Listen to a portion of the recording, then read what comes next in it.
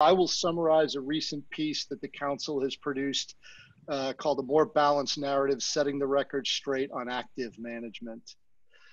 As if you can move forward, Karen, just one slide. Um, we, we think about this balanced narrative. I think one of the most important things we have to do is sort of accept and, and uh, recognize some of the key strengths that passive has offered investors. I think Karen has has highlighted this. The council's mandate is to sort of push back against the overly simplistic narrative that you know passive is good and uh, uh that the passive is good and active is bad. But really, we also need to accept that they can both play a role, an important role in portfolios. And so with that, we sort of very quickly, we sort of highlight many of the benefits here that you would see within passive management. The idea of you know relatively strong performance, particularly in certain asset classes, maybe that are rightly or wrongly perceived as being uh, more efficient. Clearly, uh, there's a benefit to having lower fees, and we'll certainly dive more into that. And there's also this perspective that in many cases, indexes or passive management uh, can be more tax efficient. And while all those are true, if we move to the next slide, Karen, we think all those strong benefits of passive need to be put into a broader context. Again, to be to have a bit more deeper narrative relative to active. So certainly performance has been strong in areas, but as we'll highlight, it really varies by asset class, by time period, and by market cycle, as well as a whole bunch of other variables that might play into it. So it's not simply that passive is sort of winning everywhere and all the time, and we'll spend a lot more time on that in a few minutes. In terms of fees, uh, fees are certainly important, there's no doubt about that, but fees should always be evaluated within the context of the value that's being added. And so as we'll, as we'll show in a little bit, fees are always important, but we don't think they should be all important in the decision making. We think it's misleading investors to think if you just buy the lowest fee product, you'll get the, the right or the best or the most appropriate results for that particular client. And then tax efficiency has to be put in a larger context too. Sometimes there's confusion between the tax efficiency of indexes and the ETF structure itself, many passive investments being housed within ETFs. We would also highlight that uh, over half the investable assets out there, particularly around retirement accounts, the tax efficiency argument uh, obviously wouldn't apply. Uh, and then I, I would also remind folks that there's nothing about active management inherently that makes it tax efficient, tax inefficient. There are many active managers that use loss harvesting tools and other strategies to make their actively managed portfolios more tax efficient. So again, these are all solid arguments, but they need to be put in a more broad context. If we move to the next page, we'll sort of walk through kind of the agenda of what I'm going to cover over the next 15 to 20 minutes. Uh, you see a thumbnail sketch of kind of the paper uh, that's available to be downloaded at the Active Managers Council website. And really what I'm going to address are kind of the three main arguments or critiques that you often hear passive investors level against active managers. And they sound a little bit like this. First, there's an empirical evidence that active managers on average aren't or don't outperform the indexes. And we're gonna, we're gonna spend some time there. Then there's a theoretical argument that active managers on average can't. Uh, sometimes this is referred to as the zero sum theory. And we're gonna dive into why that's important, but maybe not as airtight as people like to believe. And then the third argument that's often leveled against active management is that, well, even if you could outperform, there'd be no way to, to identify those outperforming managers in advance, sort of the selection argument. And we clearly don't think that's true. I'll finish with just a slide or two on the way that active managers are actually adapting uh, relative to the pressure that passive management uh, has brought. And we think there's actually quite a good story here. So that's kind of the agenda I'll tack. If we move to, yeah, the next slide, Karen, perfect. So the first thing we want to talk about sort of the performance, and the performance is often summarized in what we refer to as kind of the industry scorecards. One is the S&P index versus active report, often referred to as the SPIVA report. And then many people on the call will also be familiar with Morningstar's active passive barometer. So two very interesting reports. They cover much of the same ground. We highlight though that the methodologies have some similarities, but some significant differences. The S&P, the SPIVA report uh, does not include fees when it calculates the performance of the passive alternative, whereas Morningstar does include the fees. Also, the way different share classes are handled uh, are a bit are a bit different as well. And the SPIVA manage, uh, measures the number of actively managed funds that underperform, while the Morningstar Active Passive Barometer measures the number of funds that actually active funds that outperform. So similar ideas, but these are sort of, and you'll hear me refer to the industry scorecards as we go forward. This this is really kind of where the active passive debate has often been where the rubber has met the road and where a lot of the, the broad financial media gets a lot of their data from. So we'll dive into these and spend a little time with this in terms of what are the factors that are driving active versus passive. If we move to the next slide, one of the most important things that we highlight is that it doesn't matter whether it's one of these two industry scorecards or any one of the thousand academic uh, research papers that have been done, different methodologies for how you calculate active returns versus passive returns can lead to vastly different results, especially on a whole bunch of variables that we mentioned, whether we're looking at just gross returns or net of expenses, uh, whether the benchmark uh, or index fees are included in the calculation of passive returns or not which benchmarks you're using. Some studies use broad industry benchmarks like the S&P 500 for all large cap uh, US equity. Some studies use the specific prospectus benchmarks like say the Russell 1000 value or the Russell 2000 growth. Uh, how we handle share classes is important uh, because there have certainly been some trends over the years in which share classes and the expense ratios of those share classes and how they affect performance. Obviously, uh, the results will vary based on time period and horizon. We spend a lot of time thinking about survivorship bias and something called reverse survivorship bias. Uh, I would summarize this by simply saying, yes, if you only look at surviving active funds, you will overstate the strength of active. But if you assume that all funds that were closed underperformed, you're sort of underestimating the results of active management.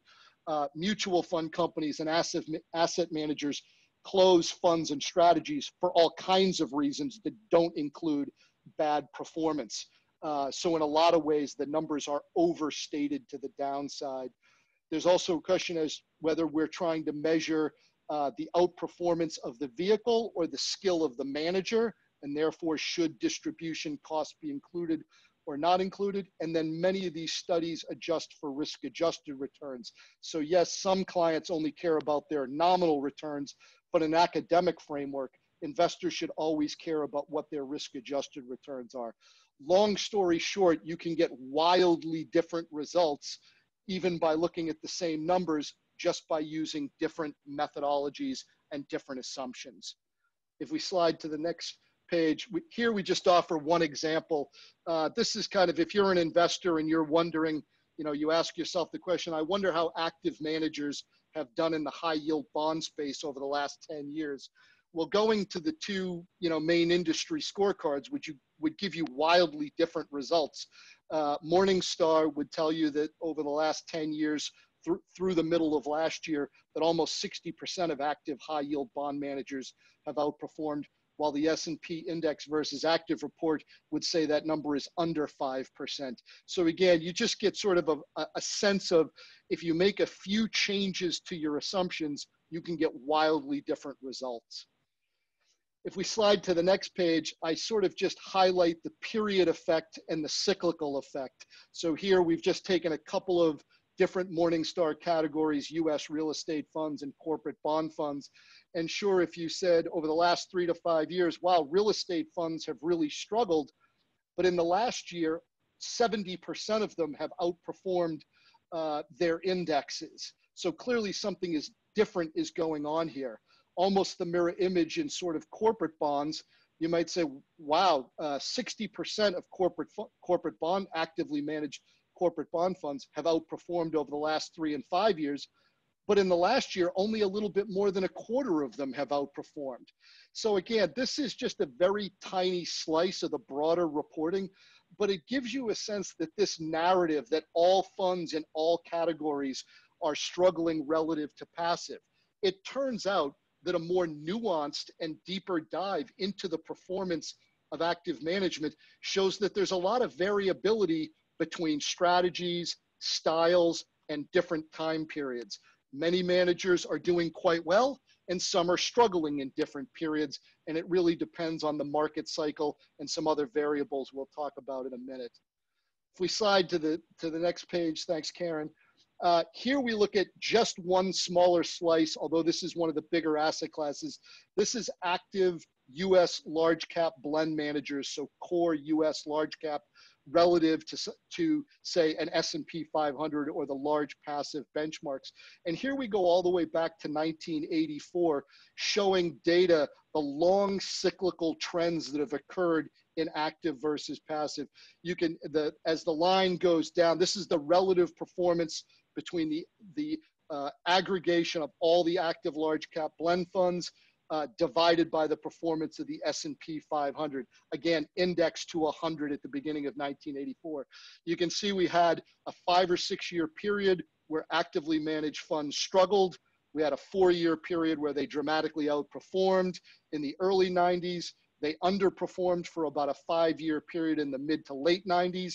And then active managers had a fantastic 11 year run from basically 1999 in the tech bubble through the beginning of the great financial crisis. And as most people are aware on the call, large cap active US has struggled since then. I think this really shows that it's a much more interesting and nuanced story. People will look at the last 10 years and sort of conclude that active management has really struggled Whereas in a longer perspective, we can really see that active management, like all things, goes through different phases where it underperforms and where it outperforms at other points in time. We slide to the next one, Karen. Uh, so why does performance vary across time? I won't go into detail here, but I will highlight a really important fact that people should know that if you add up all the active managers uh, in a particular category, you will not get a portfolio that looks identical to the benchmark of that category. There are systematic differences between the way active managers run portfolios and the way indexes are constructed. And these systematic differences go a long way to explaining why active managers, on average and in, and in aggregate, would fare better in some market cycles versus other market cycles. And I'll just highlight very quickly a couple at the bottom because they are relevant for the current cycle. So uh, not surprisingly, cash and market direction are important. So obviously in a rising market, active managers who tend to own some percentage of their portfolio in liquid or cash investments, not fully replicating the overall market exposure, they may tend to lag. They'll have a little bit of a headwind in up markets, and they'll tend to have a little bit of a tailwind in down markets. Now, don't misread that statement. That doesn't mean that on average, active managers will outperform in down markets. They may, they may not. We simply highlight that as a single variable, this tends to be a headwind in rising markets, a tailwind in falling markets. That isn't an opinion, that's sort of basic portfolio math. We also highlight market cap distribution. Most active managers in aggregate cannot be overweight the largest stocks at the same time in an index. So not surprisingly, when the largest stocks in a market cap index have the strongest performance, that tends to be a headwind for active managers. And when smaller cap stocks, maybe the Russell 2000, but even think about smaller within large cap, the bottom 400 stocks in the S&P 500, when those small and smaller cap stocks outperform, that will tend to be a tailwind to active managers. And this doesn't apply just to equities. You see the same simil similar trends in bond portfolios. Most active managers will have a little bit more yield, a little bit more credit. So generally speaking, not in every environment, but when credit does well, active managers have a bit of a tailwind. And when credit underperforms or credit spreads are widening, that will be a little bit of a headwind. Again, none of these are hard and fast rules, but they give you a sense that there are systematic differences between active managers and their underlying indexes. And when those differences are in or out of favor, they will tend to drive in aggregate whether the average active manager is doing better or worse. If we move to the next slide, you know, really the key takeaways from me from the first part, uh, we believe that the industry scorecards are helpful and can even be insightful, uh, but they are not gospel. They are hardly pre precise to any stretch of the imagination. Remember, their findings can be radically different simply because of small methodology or assumption changes. We think that a deeper look at the empirical evidence uh, highlights that performance between active and passive has very, very, has often varied by asset class, time period, and market environment.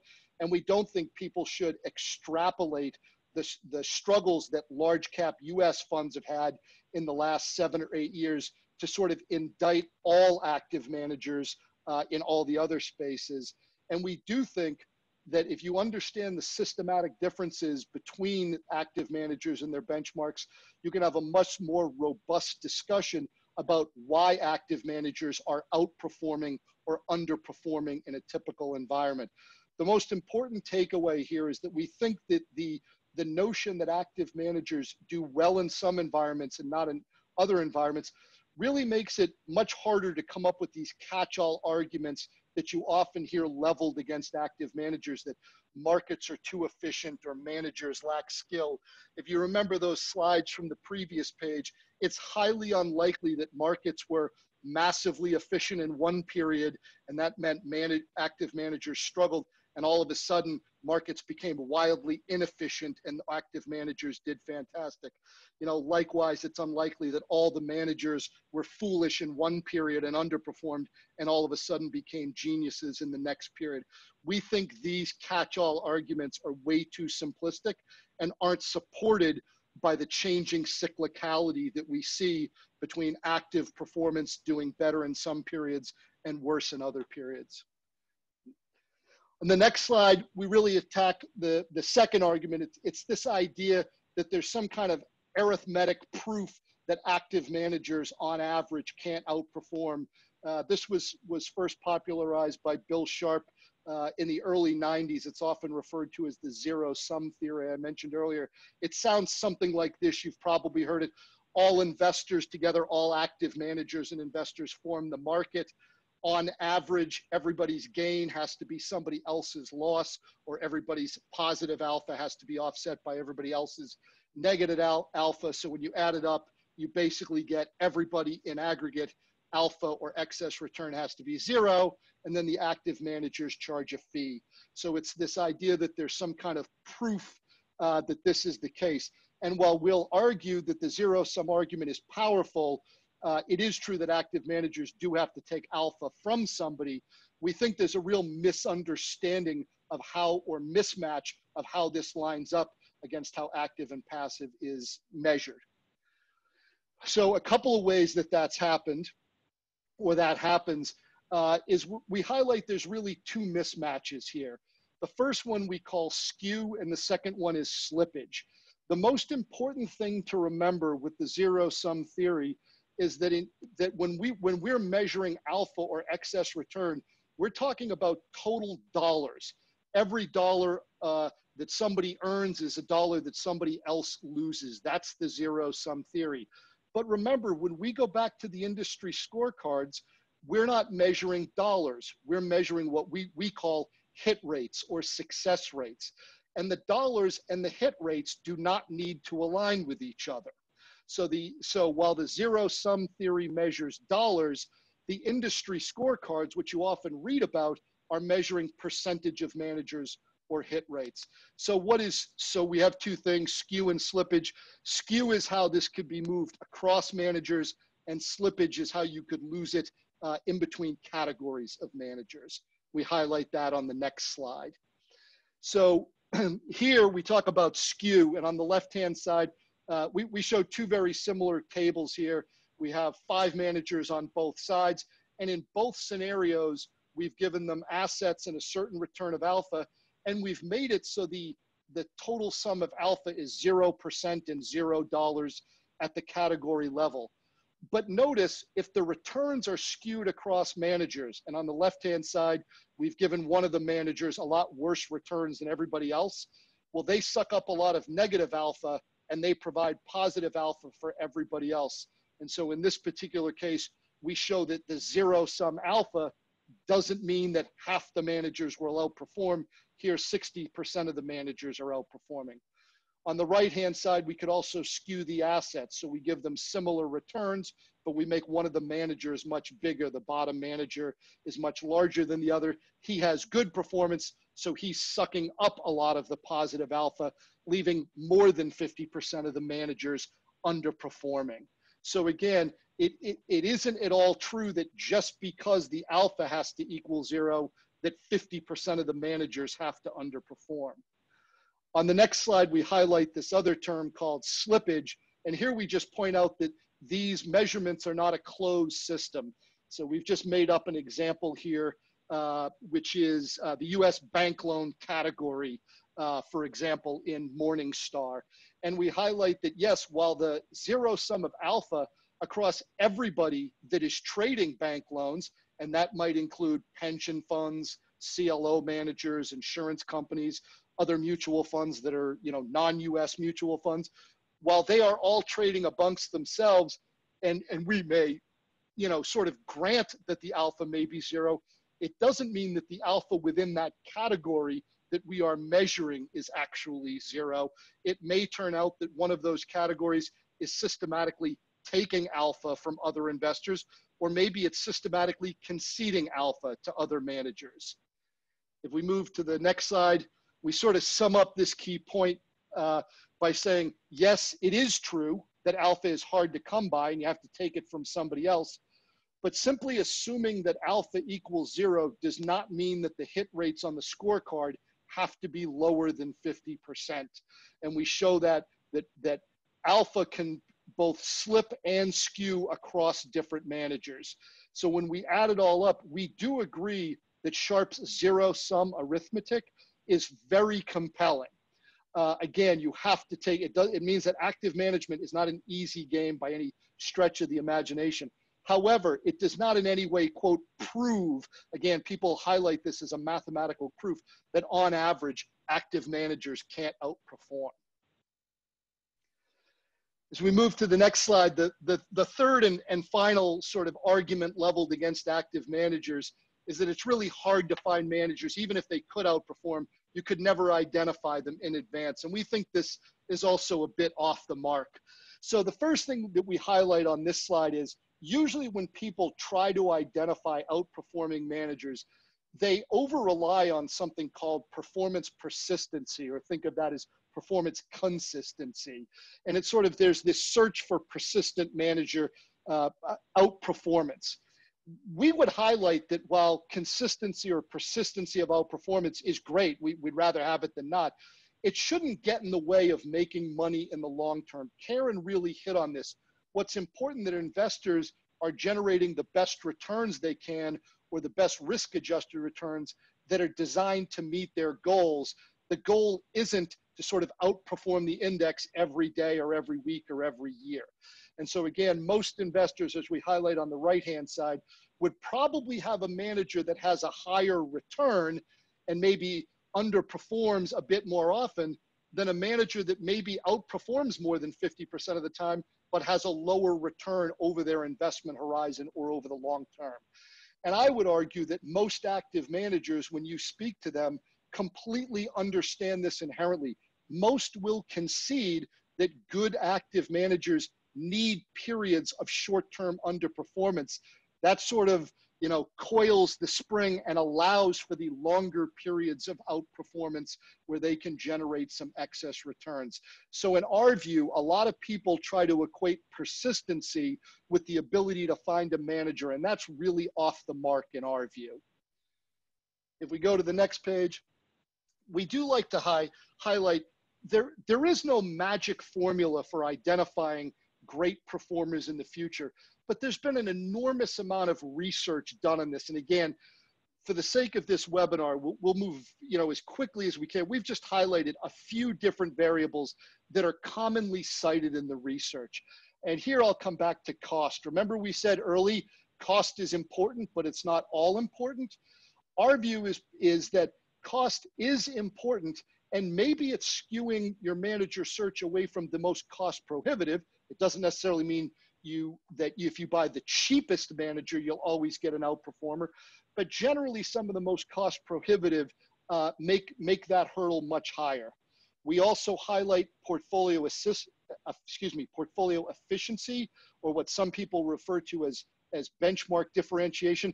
This is just the idea that a good active manager has to be different enough from the benchmark to actually outperform the benchmark. We, we, I call it portfolio efficiency. What I really mean is, is enough of a particular portfolio invested in things different than the benchmark. That's the only place alpha can, can come from. The things in the benchmark can only generate beta.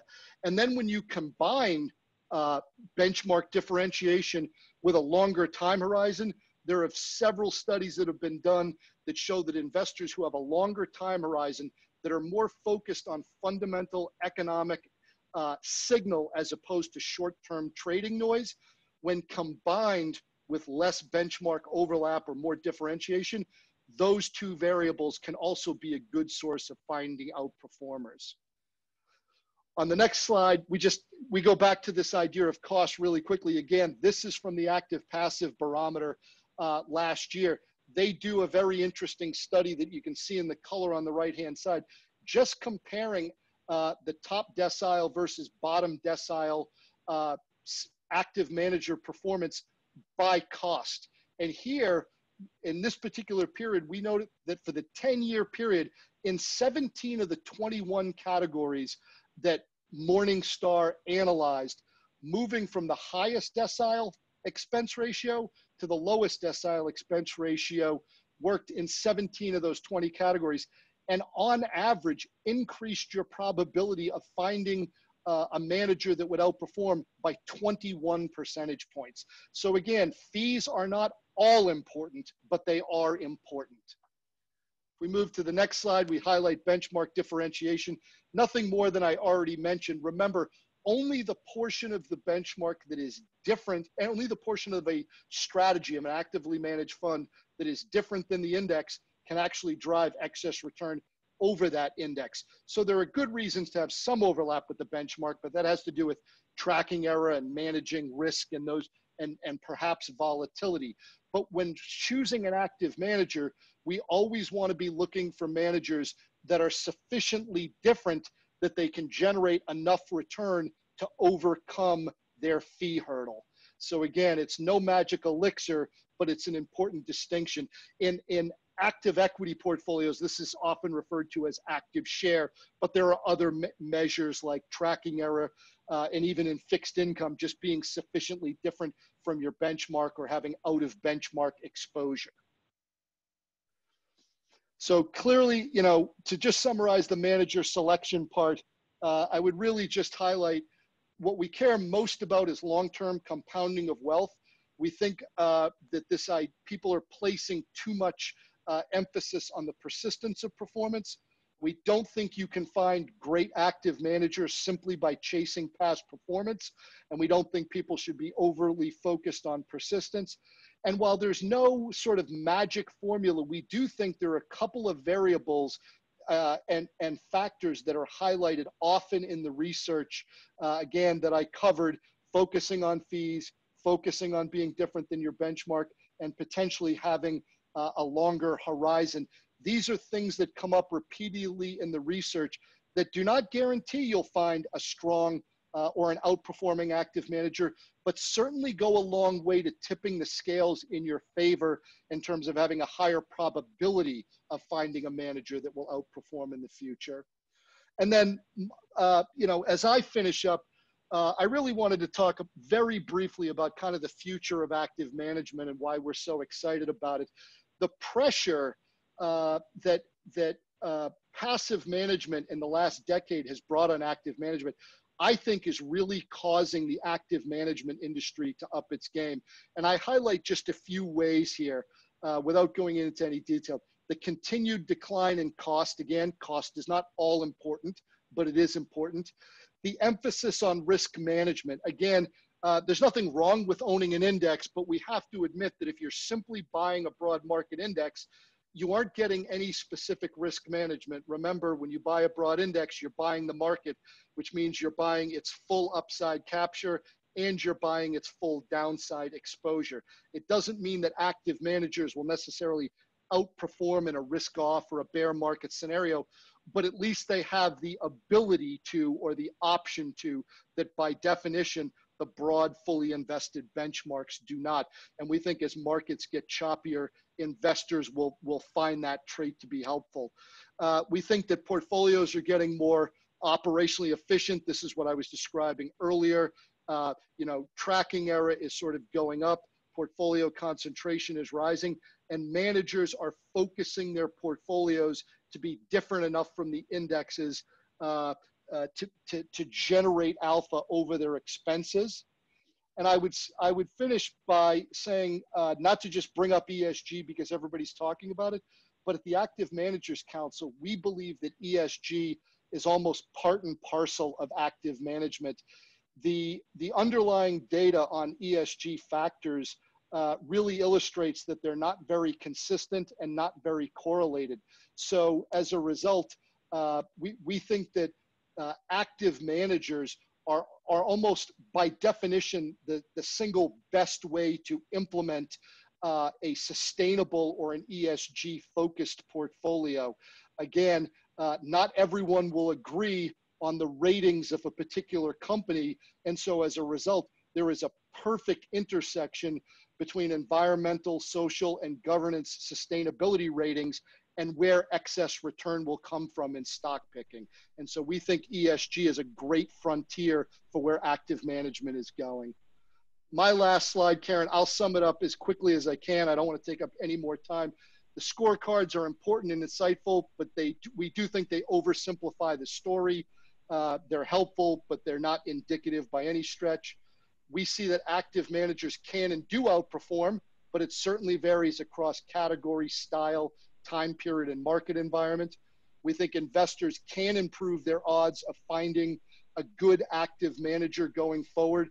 And we don't think relying on persistence measure is very helpful. And we think the future of active management is really bright, as in all the ways I just described, it's really adapting to the challenges of the, of the new market environment and the challenges and the, and the growth in assets from passive managers.